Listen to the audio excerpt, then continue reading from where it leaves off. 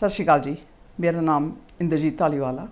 ASFM ਹੁਣ ਬੰਗਿਆਂ ਦੇ ਵਿੱਚ ਖੁੱਲ ਗਿਆ ਹੈ। ਓਨਡ ਆ ਬਾਈ NRIs ਸੋ ਇਹ ਬੜੀ ਪ੍ਰੋਫੈਸ਼ਨਲ ਆਊਟਫਿਟ ਅਸੀਂ ਖੋਲੀ ਆ। ਸਾਰੀ ਬਿਲਡਿੰਗ ਦੇ ਵਿੱਚ ਸਾਰੀਆਂ facility central AC pantry offices ਬੈਠਣ ਲਈ ਐਂਡ ਸਾਨੂੰ ਵਿਜ਼ਿਟ ਕਰੋ। ਆਈਲੈਟਸ ਦੇ ਨਾਲ ਹੀ ਅਸੀਂ ਕੰਸਲਟੈਂਸੀ ਦਾ ਵੀ ਨਾਲ ਹੀ ਰੱਖਿਆ ਵੀਜ਼ੇ ਦਾ ਕਿ ਤੁਸੀਂ ਕਿਤੇ ਵੀ ਤੁਹਾਨੂੰ ਕੋਈ ਹੇਰਾਫੇਰੀ ਨਾ ਕਰ ਸਕੇ ਐਂਡ ਸਾਡੀ ਕੋਈ ਕਾਉਂਸਲਿੰਗ ਫੀ ਨਹੀਂ ਹੈਗੀ। ਤੁਸੀਂ ਜਰੂਰ ਵਿਜ਼ਿਟ ਕਰੋ। ਸਾਡੇ ਤੋਂ ਸਹੀ ਸਲਾਹ ਲਓ।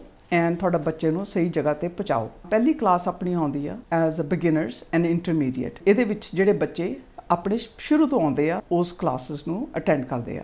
ਐਂਡ ਇਹਦੇ ਵਿੱਚ ਤੁਸੀਂ ਦੇਖਿਆ ਹੋਣਾ ਦੀਪਿਕਾ ਪੜ੍ਹਾ ਰਹੀ ਆ, ਐਂਡ ਇਹ ਗ੍ਰਾਮਰ ਦੀ ਮਾਸਟਰਸ ਆ। ਐਂਡ ਬਹੁਤ